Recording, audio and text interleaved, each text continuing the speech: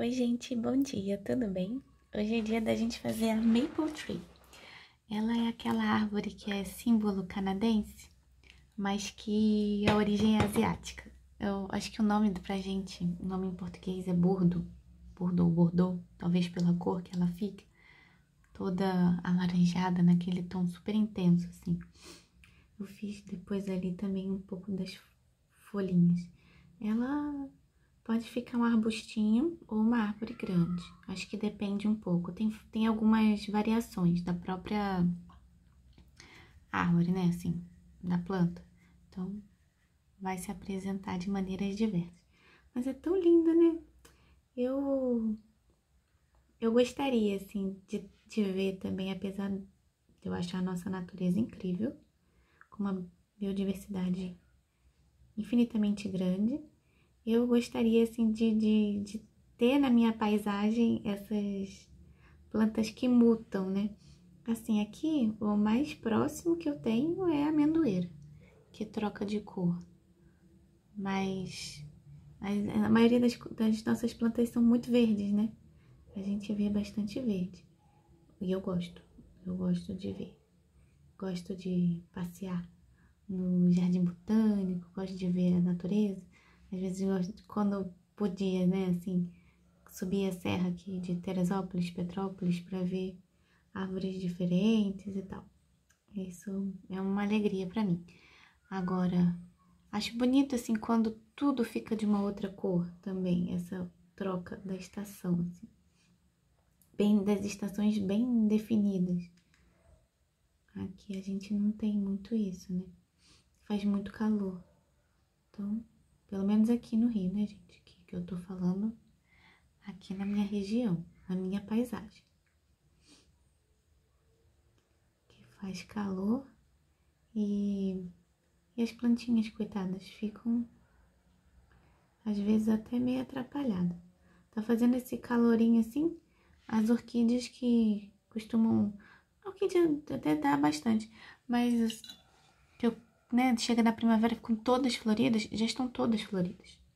Porque o inverno nosso aqui foi representado por alguns dias. Hoje tá, tá frio para os nossos padrões, mas não é. Mas não tá. Se ficar no sol, no calor, já vai tirar o casaco, ficar de biquíni.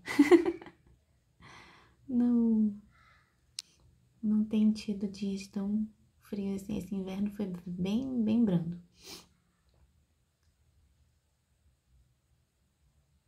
Esse o outono que marca um pouco, eu acho que das, dos bairros que eu convivo mais, das árvores que eu vejo mais, é, tem a amendoeira que cai, né? Que vai fazendo esse movimento de cair a folhagem.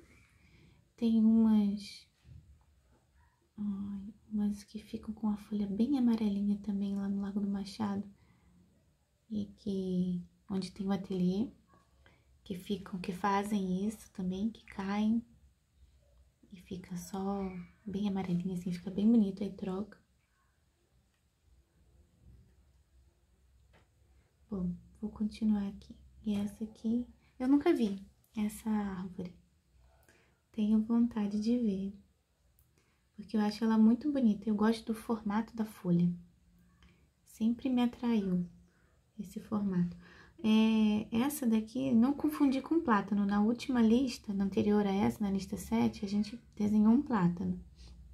O plátano tem uma folha muito parecida com essa também, mas não são a mesma espécie. Então, essa aqui é o, o bordo, bordo, bordeaux, bordeaux oriental,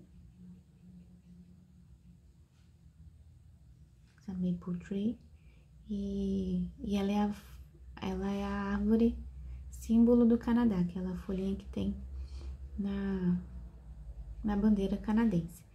Me, uma pesquisa rápida aqui, parece que ela é uma, uma folha que representa os, é, os viajantes vikings, um, que, que saíram, né? Os vikings que saíram de seu espaço e foram para outros lugares. Então, talvez tenham trazido a árvore viajante, né? Porque ela sai da Ásia, ela também tem alguns pontos da Europa, mais próximos da Ásia, e vai andando e chega no Canadá, né?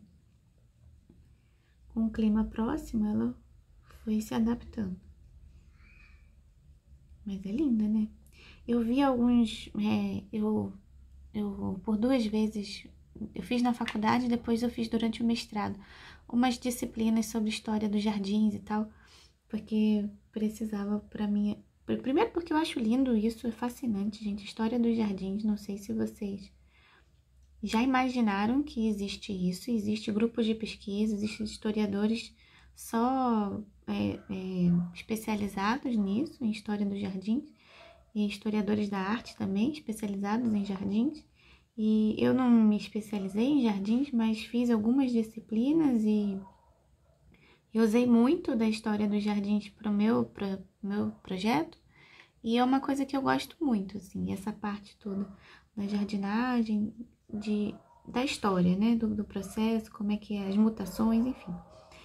E numa dessas aulas, assim, eu me lembro de uma figura que não saiu da minha cabeça, que é justamente um jardim japonês, mas todo feito com árvores como essa, vermelhos, intensa, assim, uma decoração intensa do vermelho, mas que é da própria natureza, não é uma coisa que foi especificamente modificada pelo homem, sabe? É, deixa a natureza se guiar. Então era um o, jardim oriental tem muitos significados também. Os nossos jardins também têm. É porque a gente vai ver um pouco mais de planejamento desses significados e tal. É, hum, é, a gente vai ter um jardim pensado a partir mais ou menos do, do Renascimento, assim que você vai ter um jardim com um pensamento um pouco mais é, organizado, digamos assim ou um pouco antes até. A gente já vai ter um jardim medieval com bastante características interessantes, mas um jardim é, pensado talvez para um, usufruto, para um passeio nele, alguma coisa assim, você já vai ver mais no a partir do Renascimento, assim, que vai ter bastante jardins sendo planejados, né? E aí cada um vai ter um significado e é muito interessante assim esse o processo, né, que leva a fazer as representações. E o jardim oriental também, ele tem uma ordenação, tem vários tipos de jardim que podem ser considerados jardins, né? Até aqueles, aquelas pedras, é, não sei se também vocês já tiveram oportunidade de ver, mas tem uns, uns jardins de pedra e jardins que, que, que você mexe, são chamados de jardins, são, são exteriores e são completamente meditativos, né? Então é bem interessante assim essa religação do homem natureza e como o homem modifica o espaço natural, não de uma maneira depredatória, mas de uma maneira de incluí-lo na natureza de uma certa forma, ou a natureza dentro do seu é, ambiente e do seu cotidiano, né? É bem, bem interessante isso. Aqui. É, então, eu fiz aqui uma explosão de laranjas nessa folhinha aqui. Ela tem um tronco bem escuro. Eu vou fazer. Ela lembra um pouco a cereja, né? Assim, com a, é, no contraste, né? Não, não no formato, mas no contraste.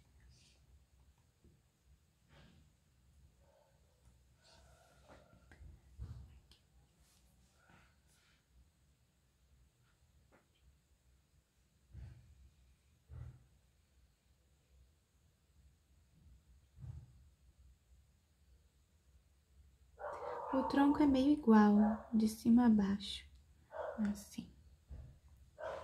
Deixa eu ver se eu consigo fazer e uns galhos aparecem. Vai borrar tudo aqui.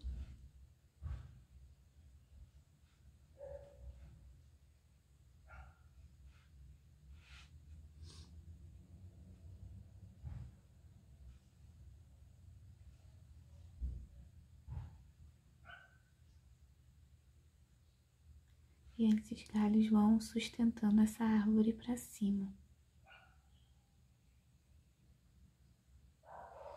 Eu não vou fazer muito não, porque vai borrar demais. Vou fazer algumas saídas aqui.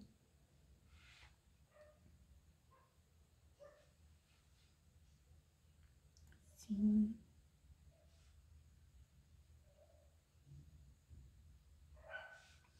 Tô lembrando agora, eu acho que eu vi um. Ah, não, acho que era o plátano. Eu não tô não tenho certeza agora se era esse. No Chile eu vi uma bem uma, uma folha bem, bem, bem, bem laranja. Eu fui numa época que tava, não de outono, fui no inverno, mas tava, tinha umas folhas de uma, uma praça, uma rua, não me lembro agora. Mas o Chile tem muito plátano também, né?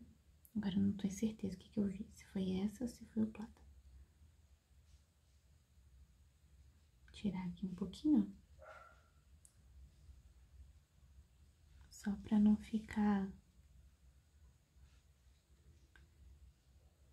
toda ela compacta.